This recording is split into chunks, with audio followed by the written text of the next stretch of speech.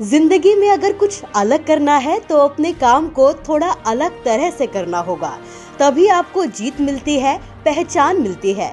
इस बात को चरितार्थ किया है रंजीत सिंह ने, जो ट्रैफ़िक पुलिस में है और सोशल मीडिया पर अपने काम की वजह से छाए रहते हैं।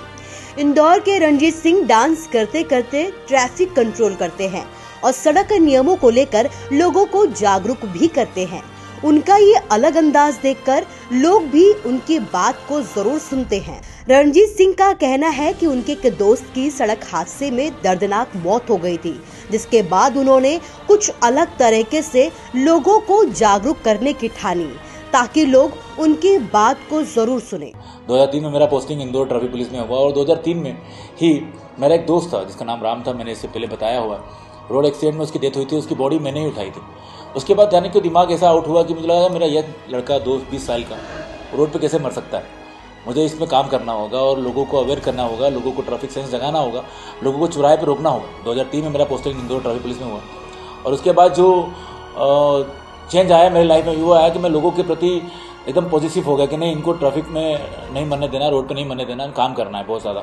और मेरे अंदर का जो स्किल था डांस स्किल जो कहें, जिसको लोग अब डांसिंग कॉप के नाम जानते हैं, मैं 2003 से चार से डांस करके लोगों को रोकने लगा। शुरू में कहीं ना कहीं एप्रिसिएशन कम और लोग मज़ाक बहुत उड़ाते थे कि क्या कर रहा है, पागल हो गया है, ये बहुत बहुत कुछ सुनने को मिलता।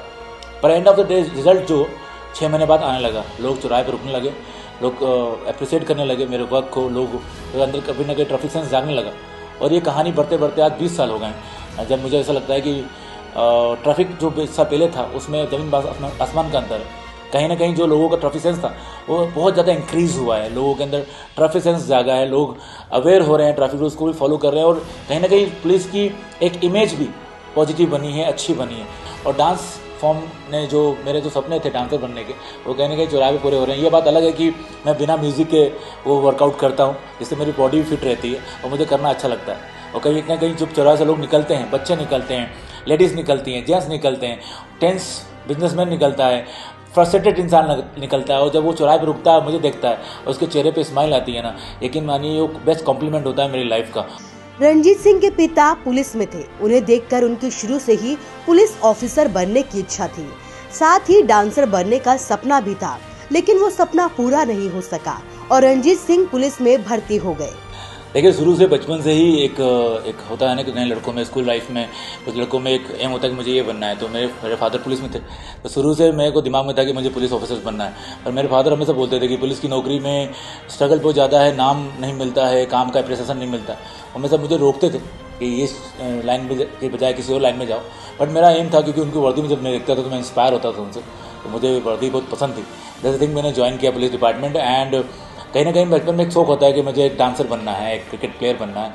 वो सारे सपने थे, पर कुछ मजबूरियाँ होती लाइफ में क्योंकि मैं बड़ा बेटा था तो वो सपने पूरे ना हो सके। पर ज़िंदगी में मुझे नहीं पता था कि एक मुकाम ऐसा आएगा जब मुझे वापस वो ड्रीम जीने का मौका मिलेगा। और मैं इसीलिए काम करता हूँ कि मेरे चौराहे जब कोई निकले इंसान तो मुस्कुरा के निकले, हंस के निकले और अच्छे से निकले सेफ्टी से निकले और आगे जाके भी ट्रैफ़िक रूल्स फॉलो करें।